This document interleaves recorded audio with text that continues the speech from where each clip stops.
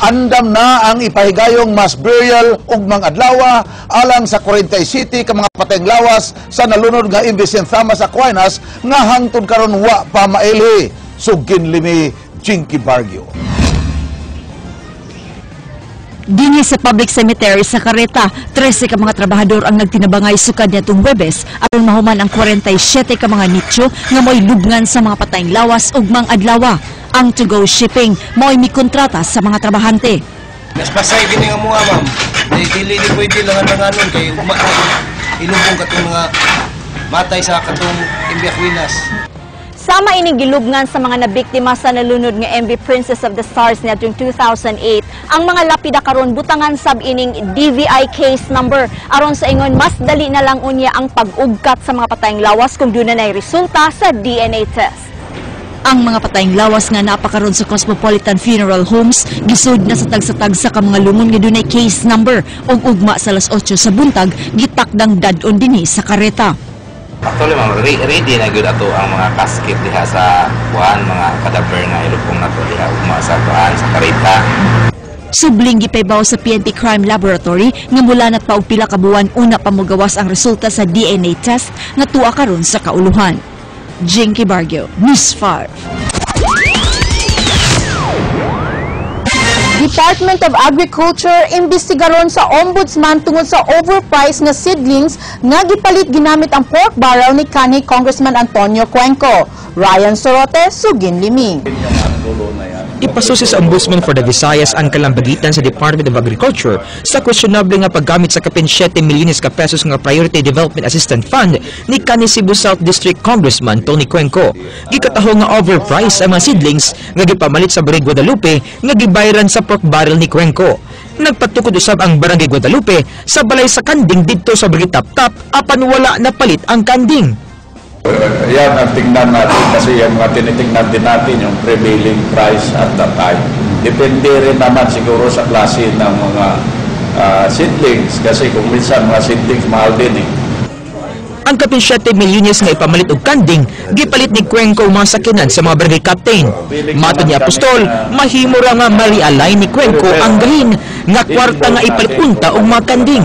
Ilang susiyon kung gisubay ba ni Cuenco ang legal nga pamaagi sa pag-realign sa kwarta. Gikinahanglan ng approval sa Department of Budget and Management kung gamiton ang kwarta alang sa laing katuyuan. Ang, ang DBM kasi nagbabudget dyan pero inalaw din natin yung tinatawag na realignment of savings.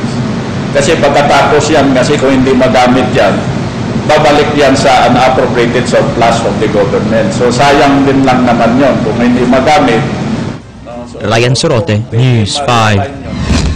Atol sa State of the Region Address sa Regional Director sa Department of Social Welfare and Development Region 7, gipatinaw ni ini nga tarong nilang napatuman ang mga proyekto gamit ang kwarta nga hinatag sa mga magbabalaod gikan sa ilang Priority Development Assistance Fund. King Perez, Sugin Limi. Gihimo kagahapon ng State of the Regional Address ni DSWD Regional Director Mercedita Habagat. Iyang gitaho ang mga nahimo sa ilang buhatan sukad ni atong tuig 2012 hangtod Hulyo karong tuiga.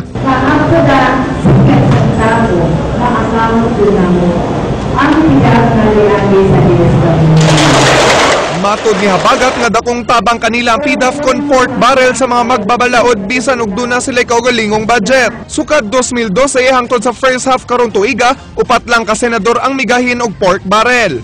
Dunay 11 ka mga kongresista nga migahin sab sa ilang PDAF, biin pito ni inigikan sa Sugbo. Samtang lima ka mga party list groups ang may hatag sab sa ilang pork barrel sa DSWD 7. Sukad ng hatag ang mga magbabalaod sa ilang PDAF ana sa 100,000 pesos ang labing gamay nga allocation. Samtang mga 20 milyones pesos ang labing dakong nadawat sa maong buhatan. Ang pork barrel sa mga senador, kongresista ug party list groups padung sa Comprehensive and Integrated Delivery of Social Services kon CIDSS. Lakip na sa mga programa niini ang Crisis Intervention Unit nga dangpan sa mga kabus alang sa burial, medical ug uban pang klase sa financial assistance. Niadtong 2012 nakadawat ang DSWD-7 og kapin 61 milyones pesos. Kapin 33 milyones sab ang nadawat nga pork barrel fund sa mong buhatan sukad Enero hangtod Hunyo karong tuiga.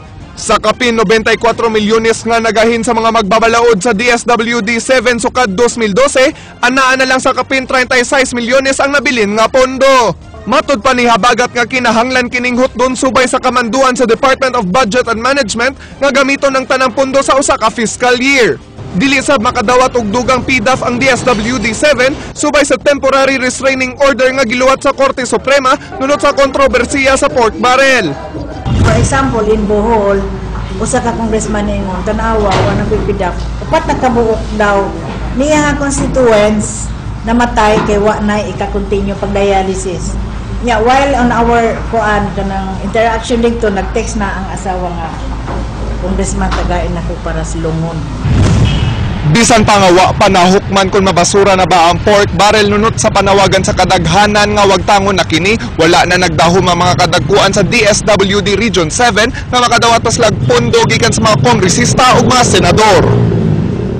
Si Assistant Regional Director Nemia Antipala mipasabot nga wa sila magagad sa pondo gikan sa mga bagbabalaod. Gani bisan nahurot na ang ilang 1.2 million pesos nga pondo alang sa Crisis Intervention Fund, mahimo silang makarequest og dugang pondo sa Central Office.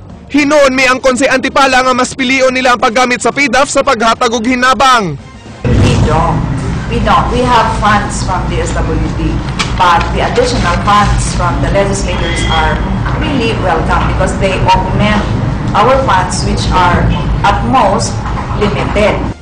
Dugang ni Antipala nga wala pa'y nakalusot nga bogus non-government organization kay strikto ang mga guidelines nga ilang gipatuman sa ilang buhatan. Sa pagkakaroon dunay 184 ka mga registered and licensed NGO sa riyon ang DSWD 7 nga gitugutan sa pagpatuman sa mga programa sa ahensya.